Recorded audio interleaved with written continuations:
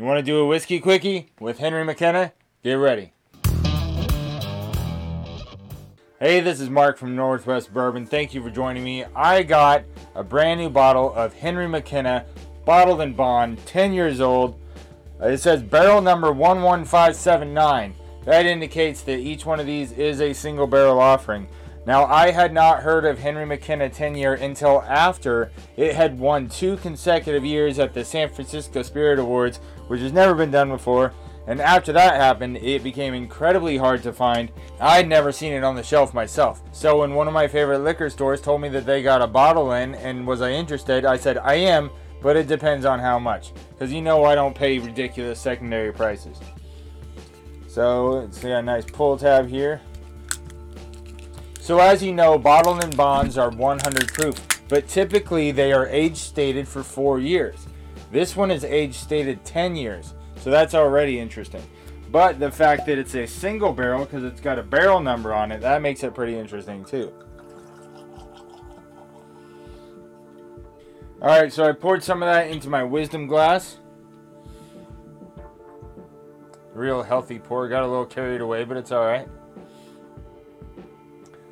You see it's got a nice, good, rich, full color to it. Smells some spicy vanilla right off the bat, almost like a, uh, almost like a vanilla flavored black tea. Smells some more caramel and some wood down further into the glass. This is a whiskey quickie, so let's get right into it. Cheers.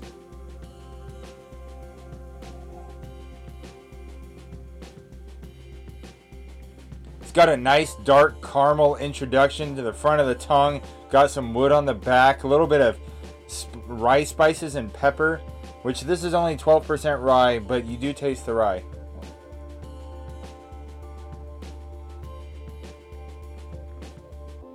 Second sip is a little bit sweeter up front, and it's a little spicier in the back. So all around, it gives you a nice balance of both of those flavors. But both of those flavors still remain really strong.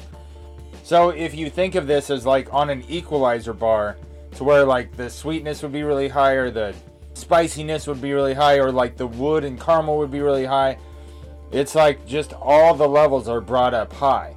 So it's really robust and flavorful, but it's even across the board. It's where you get a spoonful of everything.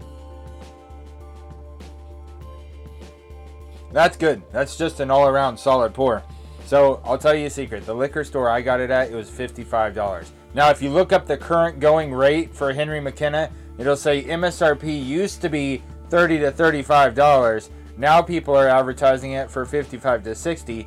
Average price is $85, while some stores are selling it for 160 and over. Now I got it for 55. And at that price, I would tell you it's a buy all day. If I could find it on the shelf every time I went to the store, then it would always be on my shelf. Because I think this is a great buy for less than $60 a bottle.